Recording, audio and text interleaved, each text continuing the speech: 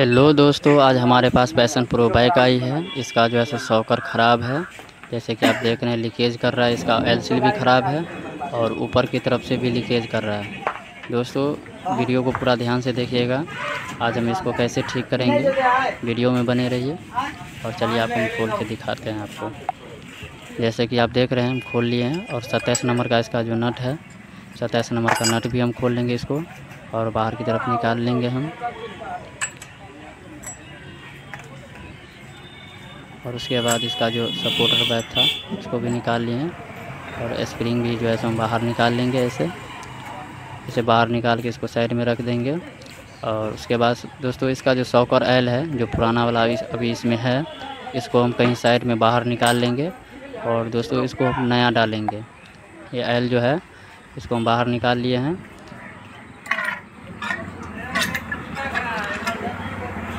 और उसके बाद दोस्तों, सौ का रॉड होगा एक, ऐसा। आप ऐसे फंसा ले इसको। और छः नंबर का एलेंकी एलेंकी होगा इसको ऐसे लगा करके। और एलेंकी बोल्ट को भी हम बाहर निकाल लेंगे। जैसे कि आप देख रहे हैं, इसको खोल करके बाहर निकाल लेंगे हम। और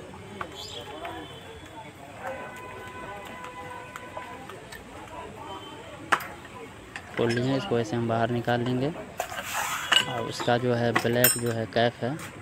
कैप को भी हम बाहर निकाल लेंगे। और इसका जो है सो दोस्तों, एक लॉक होगा सौ पर एल के ऊपर। इसको पतला पेचकस की मदद से इसको हम ऐसे बाहर निकाल लेंगे।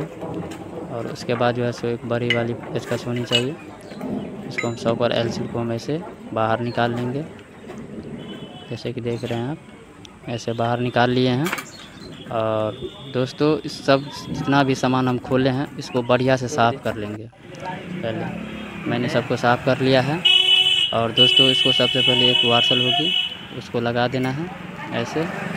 और उसके बाद है इसका नया सॉकर एलसील है मेरे पास। इसको हम ऐसे लगा दे रहे हैं। और एक पुराना पुराना होगा। उसको ऐसे हम ऊपर से रख देंगे, थोड़ा हथौड़ी के चोट से।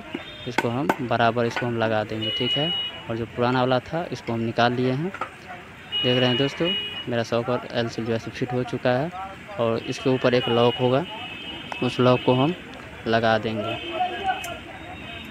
दोस्तों, मैंने लगा दिया है और उसका जो एक ब्लैक कैप होगा, उस कैप को भी हम ऐसे लगा देंगे। हम ऐसे फिट कर देंगे। दोस्तों, एक चीज़ गौर कर रहे हैं आपको कि सॉकर का जो पाइप होता है, इस पर कहीं कट उट का निशान नहीं होना चाहिए।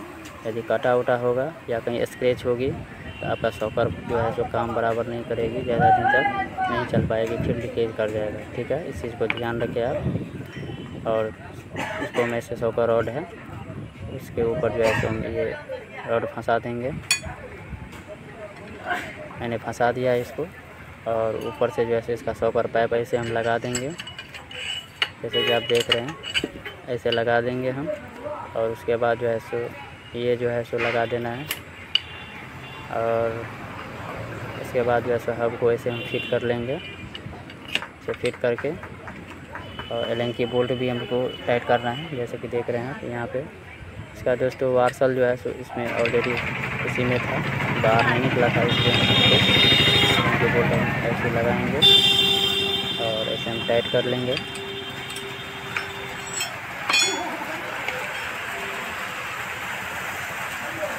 और दोस्तों सबसे पहले इसमें हम स्प्रिंग ऐसे लगाएँगे।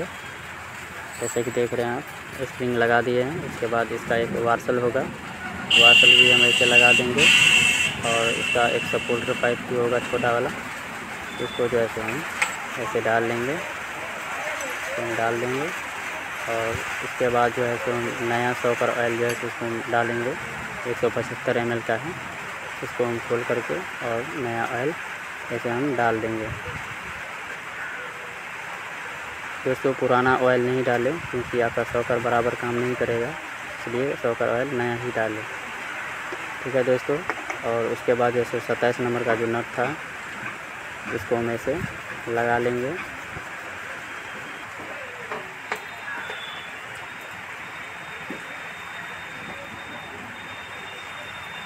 इसको दोस्तों ठीक से एकदम अच्छे से फिट कर लेना है। दोस्तों, सबसे पहले जो सत्ताईस नंबर का जो नट था उसको टाइट करना है यहाँ पे बारह नंबर का बोल्ट है, उसको पहले टाइट कर लेंगे। ताकि उस नट को हम टाइट करेंगे तो पाइप नचे नहीं। इसलिए इसको हमको हमको पहले टाइट कर लेना है। उसके बाद जो सत्ताईस नंबर का फ्रिंज से, ऐसे हमको टाइट कर लेना है। दोस्तों, फिर उसके बाद इसको हमको ढीला कर लेना है। ढीला करके और ऊपर की तरफ़ पाइप को हम ले जाएँगे सेंटर में।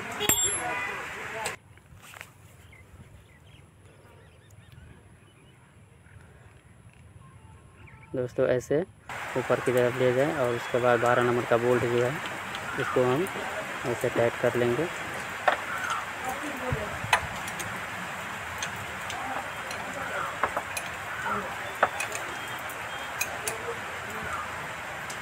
ऐसे टाइट कर ले। और उसके बाद दोस्तों, नीचे का जो बारह एम का बोल्ट है, इसको भी हमको टाइट कर लेना है। तो गार्ड के अंदर जो है, दस एम का बोल्ट है। हम जो है उसको भी टाइट कर लिए हैं। एक्सल पे हम ऐसे ग्रीस लगा देंगे। और चलिए फटाफट हम व्हील को सेट कर लेते हैं।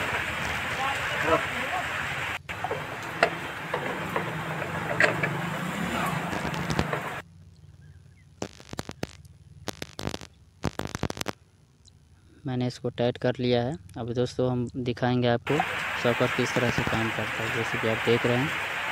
दोस्तों, इस तरह से काम करेगी। और दोस्तों, वीडियो कैसा लगा आपको कमेंट करके ज़रूर बताना। और वीडियो को लाइक कर देना, चैनल पर नहीं हुआ तो चैनल को सब्सक्राइब कर देना।